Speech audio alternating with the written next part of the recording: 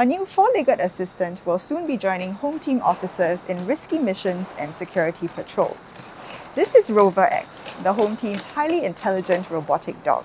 Now, it resembles a regular dog in the way it moves, but it does much more.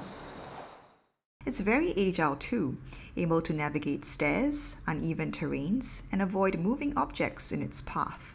From supporting disaster rescue efforts to detecting hazardous materials, the Rover X can perform these tasks without any risk to its human colleagues.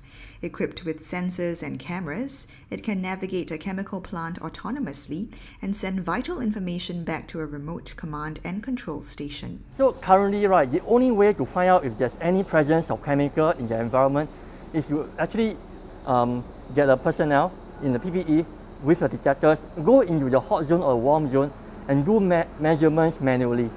This will actually free up our manpower for other tasks and also to have a safer working environment for our responder.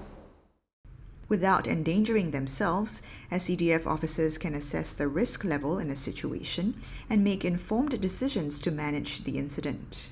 Rover X can also help police officers on patrol detect potential threats. Using video analytics, it can find unauthorized people in restricted access areas and spot unattended baggage. Current trials of Rover X are expected to be completed within six months. With Rover X helping Home Team officers, they can work on risky missions in a safer manner. Renee Poe for The Straits Times.